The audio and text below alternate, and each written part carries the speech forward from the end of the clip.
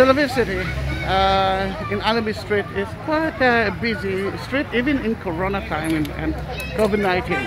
Um, but you know, I, I'm, I'm, I was born here. Then 58 years of my life I'm here, and I didn't notice that the city closed, the, the country closed itself around me, and you cannot see a lot of nature unless it's artificial parks.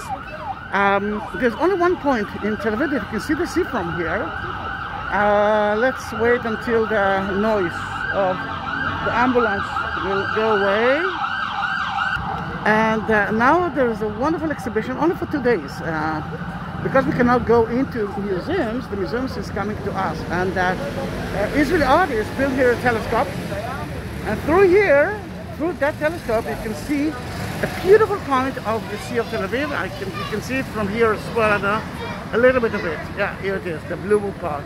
Then, um, you know, I had to wait for that exhibition to understand it. Now, if you like that video and you want to see another more than 18,000 videos of Israel and Holy Land, subscribe my channel and be my tourist because I, I am a tour guide, but there's no tourist now because of COVID-19. Uh, there's almost a, a, video of anything of Israel, then uh, be my guest. And if you do some questions, ask me. I will do that. Thank you very much.